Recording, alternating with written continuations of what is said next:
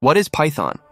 Python is a high-level, interpreted programming language known for its simplicity and readability. It was created by Guido van Rossum and first released in 1991.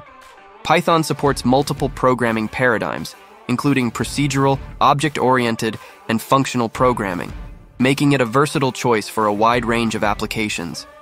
Key features of Python include easy to read and write, interpreted language, dynamic typing, extensive standard library, community and support, cross-platform, Python is widely used in web development, with frameworks like Django and Flask, data science, with libraries like Pandas, NumPy, and SciPy, machine learning, with TensorFlow and PyTorch, automation, and more.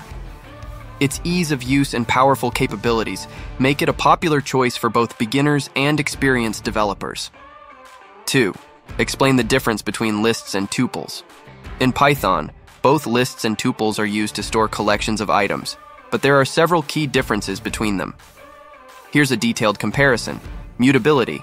Lists are mutable, which means you can change their elements after creation. You can add, remove, or modify items in a list. Tuples are immutable, meaning once they are created, their elements cannot be changed. You cannot add, remove, or modify items in a tuple. 2. Syntax. Lists are defined using square brackets. Tuples are defined using parentheses. 3. Performance. Tuples are generally faster than lists for iteration and access operations.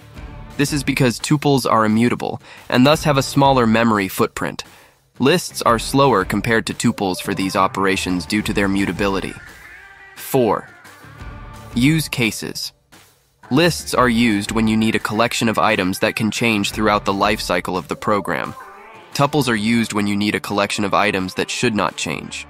They are also commonly used as keys in dictionaries because they are hashable, while lists are not. 5. Methods. Lists have a variety of built-in methods for modifying the contents, such as append, extend, insert, remove, and pop. Tuples have fewer built-in methods. They mainly support methods for finding items and counting occurrences, such as count and index, packing and unpacking. Both lists and tuples support packing and unpacking. Example. Usage. In summary, the main difference between lists and tuples is that lists are mutable and tuples are immutable.